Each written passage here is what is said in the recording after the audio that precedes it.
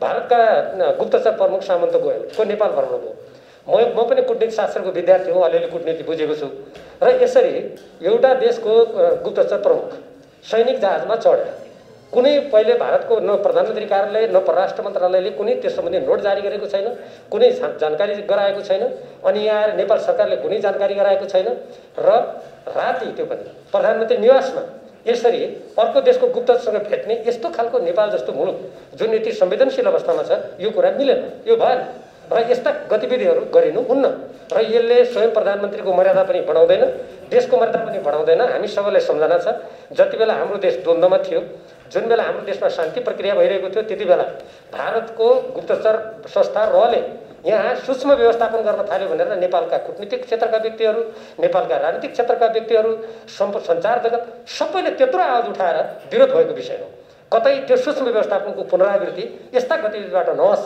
भन्ने तर्फमा नेपाल सजग हुनुपर्छ र हाम्रो स्वतन्त्र परराष्ट्र नीति हामीले नेपालको संविधानमा जुन कुराको कल्पना गरेका छौँ त्योसँग पनि त्यो कुरा मेल खाँदैन।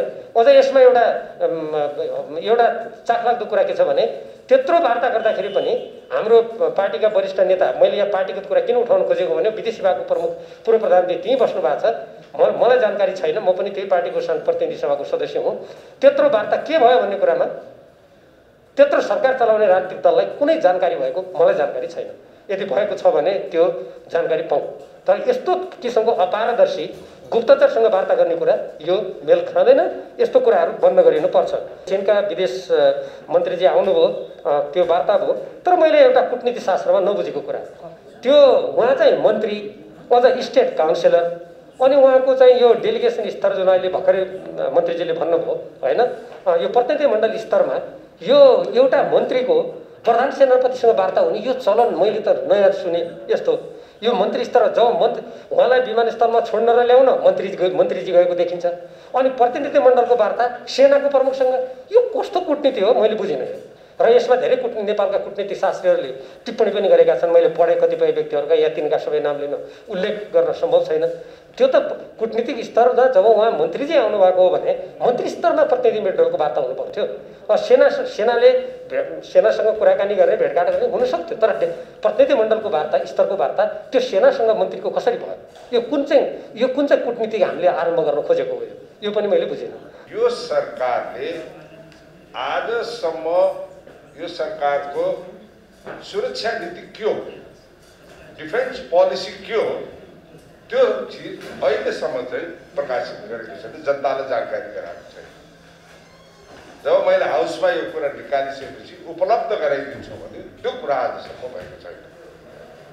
त्यसले गर्दाखेरि अढाई वर्षको समयसम्म कुनै सुरक्षा नीति नै बनेको छैन कि?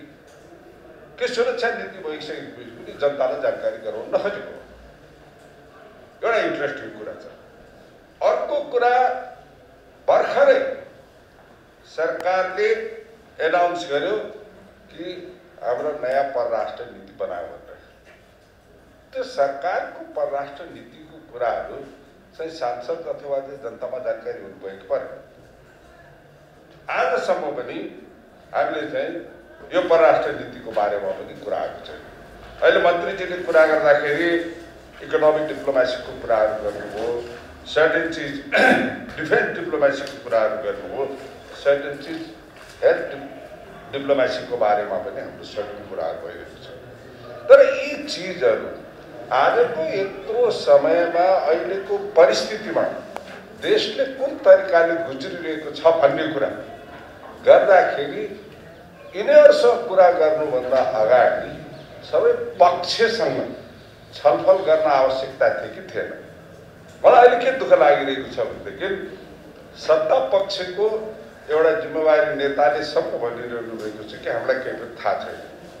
सत्ता पक्षले विदेशी विभाग छ अरू ठाउँको विदेशी सम्बन्धित मान्छेहरू छ सबैसँग छलफल गरेर किनभनेदेखि नेपाली काङ्ग्रेस सबै के सोध्छ भने र मैले पटक पटक भनिरहेको छु यो मिटिङमा पनि कि हामी विदेशको कुरा गर्दा अन्तर्राष्ट्रिय सम्बन्धको कुरामा हामी फरक चाहँदैनौँ। सबै एक हुनुपर्छ भन्ने मैले पटक पटक तर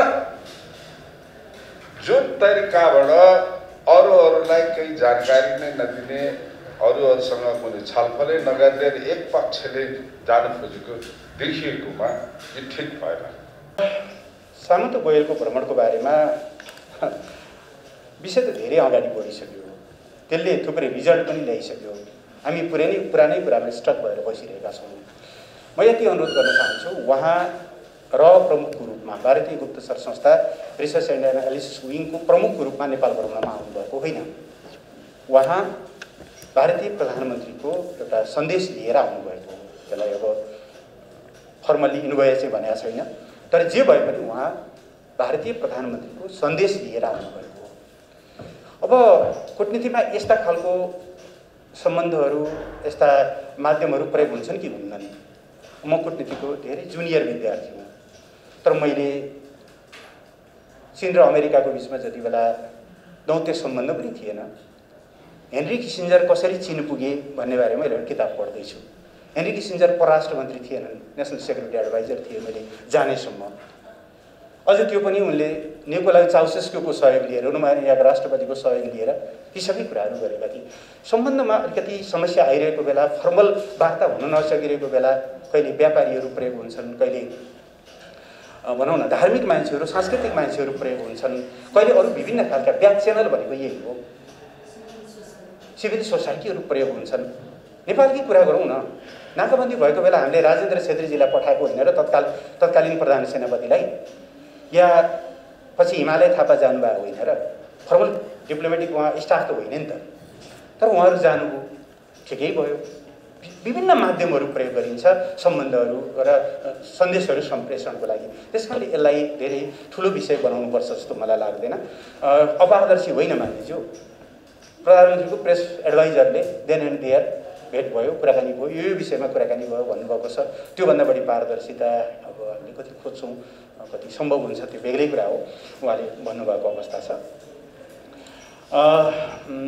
चिनिया